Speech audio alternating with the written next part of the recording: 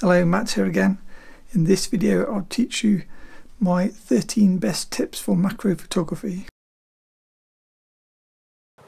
Now before I freeze to death, let's see for that. Hello, wait a minute, why is a portrait photographer telling me about macro? What does he know about macro? It's a good question.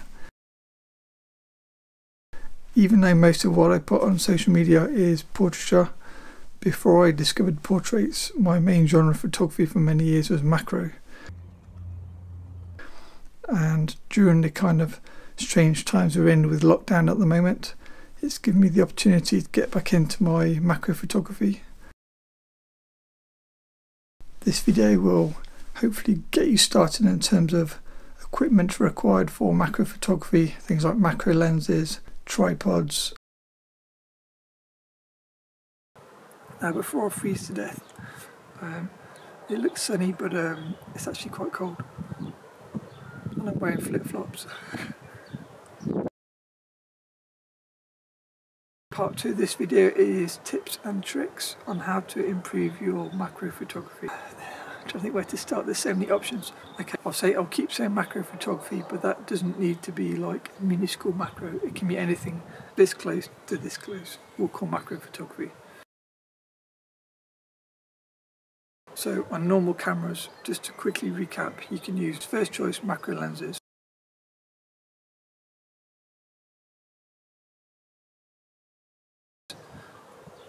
If you've got one already. Second choice, standard lens with extension tubes. So it's the same idea as this. You're just putting stacks of tubes between your lens and your camera body. The more tube thickness between the camera and the lens, the more magnified you get. So you tend to buy extension tubes in sets of three on eBay.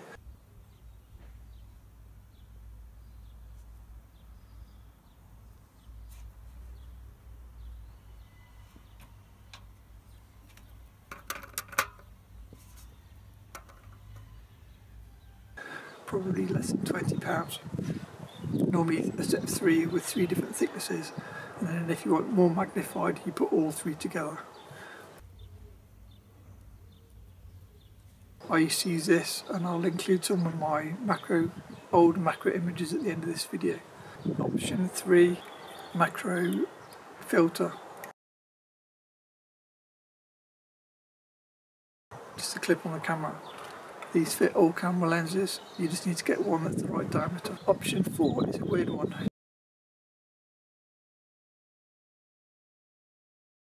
Basically get a lens, get a camera. So here's your camera, here's your lens, and what you do is you buy an adapter and mount it this in reverse like this. See, your lens is on totally backwards, and what reverse mounting a lens does, it makes it crazy, crazy macro. So you can like take a photo like, I don't know, an ant's eyeballs. Um, I did used to do like spider pictures and bug pictures. I can include some um, samples.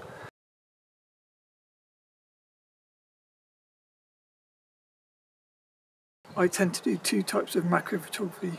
You can do shooting the lens wide open, say uh, f2, f2.8 if you've got a flash lens, and then going for the really crazy bokeh balls and the nice background.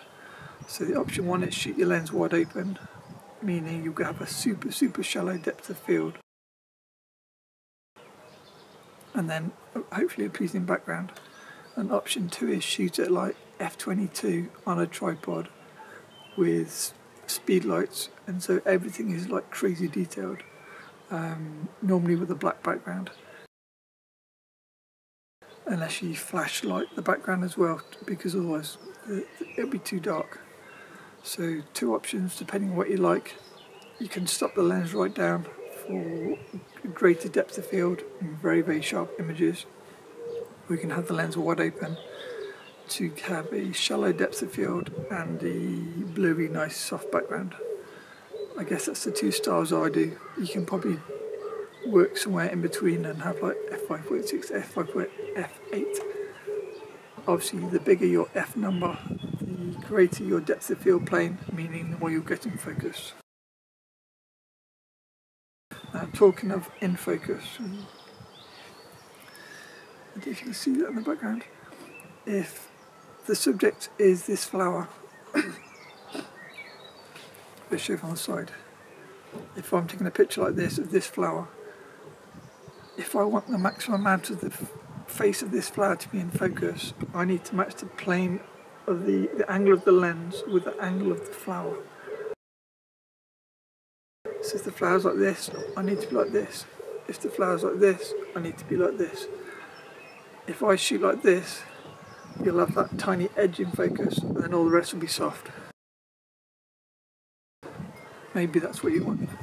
If you want to shoot like this, again you can only have either this or the side of the kind of underneath of the flower. If you want the whole face of the flower, you need to shoot flat onto the flower. So if, you, if the flower is obviously in the ground, you take a picture like this.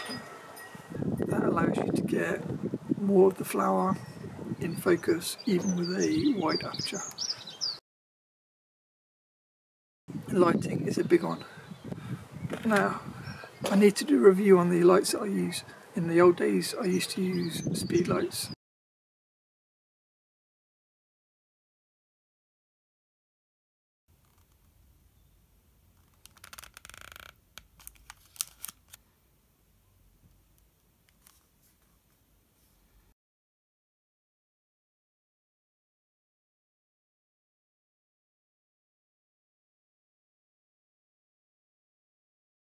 I still use, still do use speedlights, but um, they tend to be a bit too powerful uh, on occasion for this type of photos I was trying to create. So what I do is I use um, LED light panels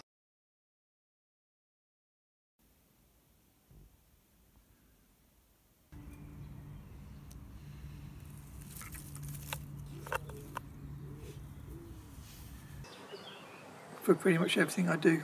Models, video lighting, obviously not now, and even macro photography.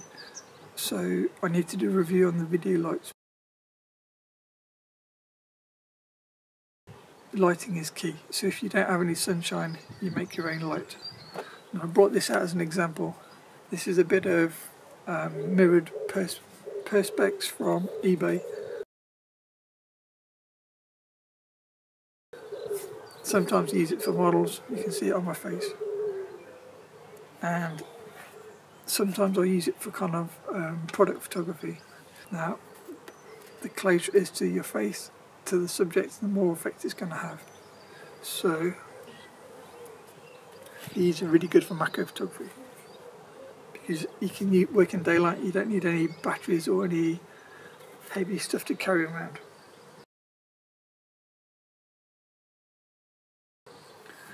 So if here is our flower, and then I can't really see myself on the screen, but depending on where the light is, you'll see it light up differently.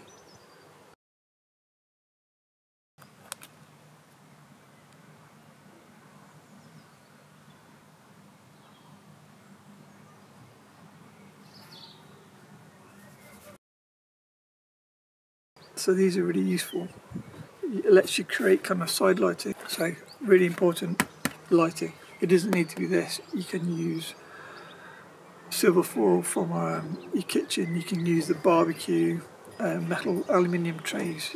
You can use a white piece of cardboard if you want a more subtle effect. You can shoot handheld if you've got a, lots of light and a careful hand or you can use a tripod which makes it easier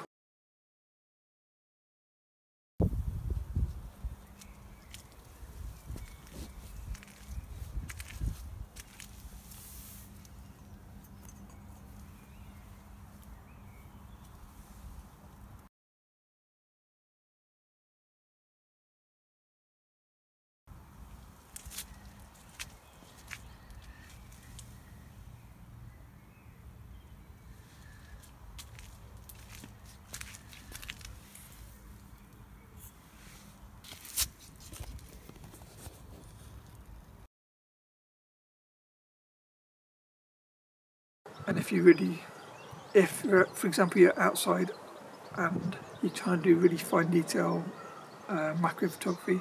Sometimes it's much, if I'm talking about nature at the moment, if you want to do, if you've got one particular flower, where's it gone? I've lost my one flower.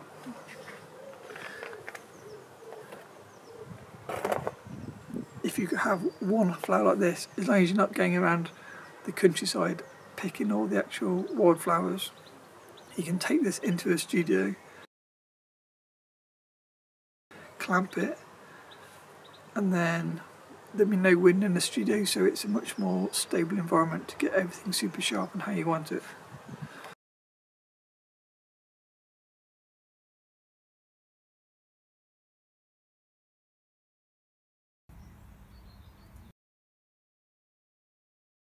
Talking about the extra details, this is another great tip. You can see it next to my body. This is a standard water spray. So if you want to add a bit of extra effect to your flower, obviously normally it would be in, the, in your garden or whatever, spray it.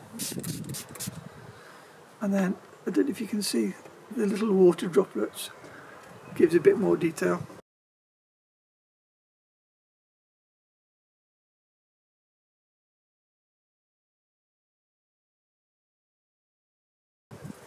It's just an extra kind of um, extra detail. it just adds something extra to your to the photos that you're looking at. In the past, I used to do kind of true macro photography rather than just close-up photography. So I used to do like water droplet photos. So I'd literally make a water droplet and then photo a droplet with a picture refracted into the water droplet. So that's proper macro photography in terms of really close. What I tend to be talking about now is more close-up photography, but you can do anything.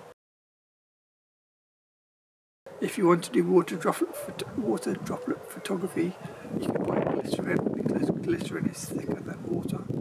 And so the droplets will stay on the side of the plant or whatever you're looking at for longer.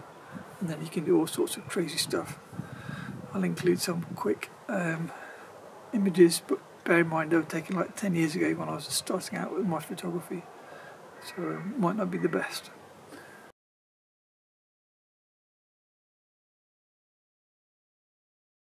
So we've covered lighting, we've covered what aperture you're going to use, we've covered if you can use a tripod or not use a tripod. You can use water sprays to add extra detail. You can use I'm going to forget something. Background, right, okay. One thing I forgot to mention, but one thing I wanted to mention which I haven't yet mentioned is background. Background is really important for macro photography because if you want a nice blurry background, you need to pick your background to look blurry. So, I've lost my flower again.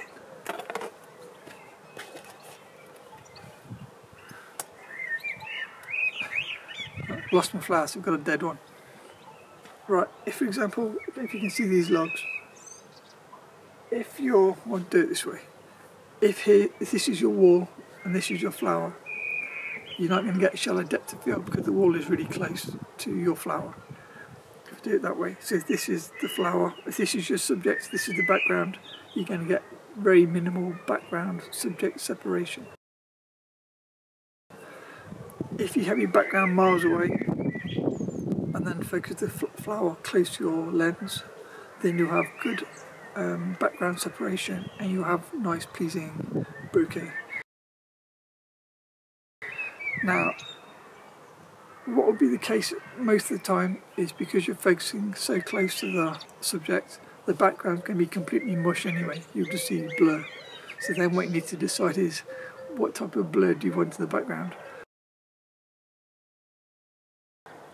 If I shot over here for example you'd see the flower not very good flower and then this would be black. You'd pretty much see you would pretty much see nothing in the background. If this was illuminated there's, not much light left. If this was illuminated and I shot this way, I'd have purpley yellow splotches in the background. And all it is is just by changing the angle of the lens a tiny amount. If I point one way, it might have a white brick wall or uh, wooden fence background. And if I tilt the camera just a tiny bit, because it then goes where there's a um, green plant in the background, you then have plants in the flower in the front and green in the background, which makes it kind of really lush, kind of everything's nice and green and fresh looking. Whereas if you have a flower in the front and a brown fence in the background, it's not so exciting to kind of look at.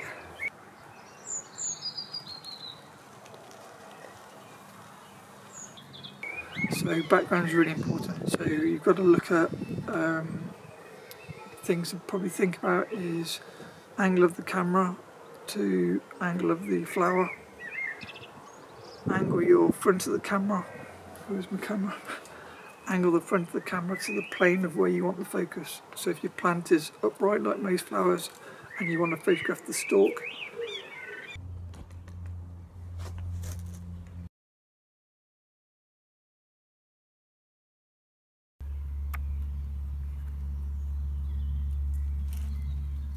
photograph straight on. If you photograph on an angle, you'll only have a tiny strip of the stalk in focus.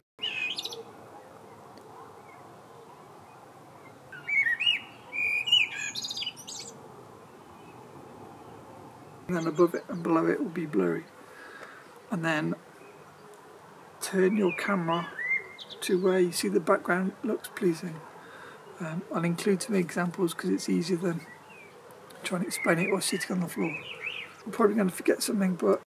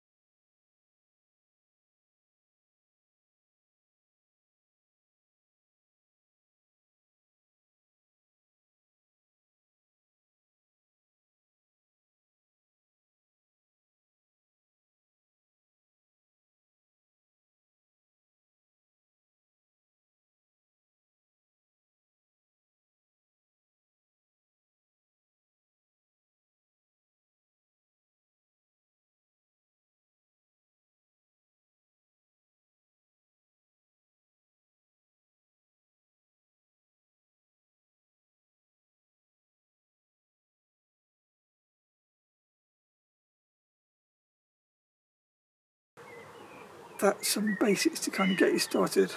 Okay, I think that's it. Um, something a bit different because normally I photograph portraits, but um, as we're in lockdown at the moment and I can't photograph people, I thought I'd um, show you my photography style that I used to do before portraits. I've been using 4x5 cameras for macro photography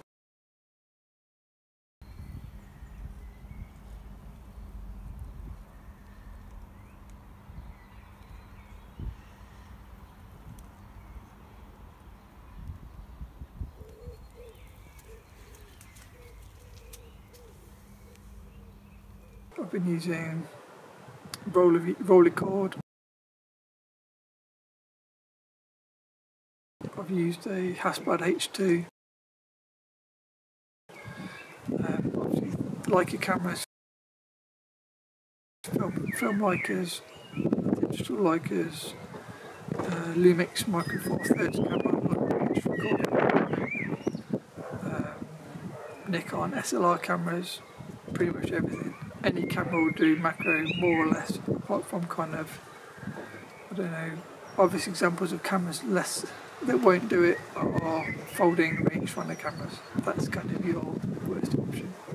Um, pretty much everything else is pretty good with some adaptation. Okay, short video became long video as usual. So thanks for watching. Hope you found it useful. And any questions that I missed, please stick them in the description, in the comments below, and I'll um, answer them as soon as I can. Thanks for watching.